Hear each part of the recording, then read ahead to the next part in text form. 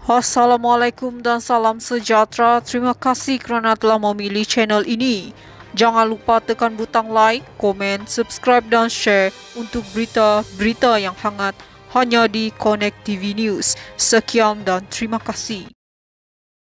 Kenyataan Datuk Sri Anwar Ibrahim kali ini ada weight kerana dia bercakap sebagai orang yang memegang jawatan Perdana Menteri.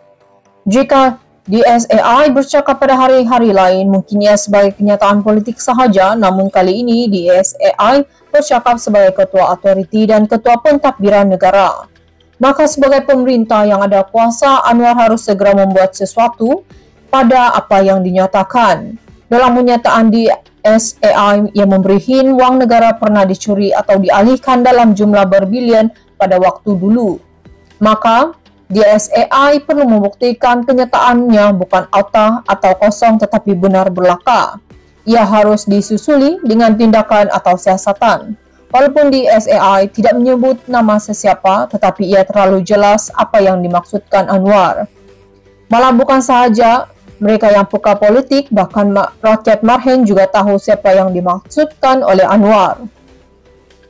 Tentu sekali maksud Anwar ialah Tun Mahathir dan Tun Daim kerana mereka menjadi Perdana Menteri dan Menteri Kewangan pada masa waktu yang sama. Tambah lagi spot Anwar dengan Daim telah berlalutan malah semenjak Anwar menjadi Menteri Kewangan dan didakwa membuat laporan palsu kepada Parlimen berkenaan jumlah kerugian forex sedangkan ia laporan yang diterima oleh Anwar dari kedua individu itu. Apa pun kisah lama, ia tetap menjadikan Anwar seorang yang berbahaya kepada Mahathir dan Daim sehingga dihalang menjadi Perdana Menteri sebanyak dua kali.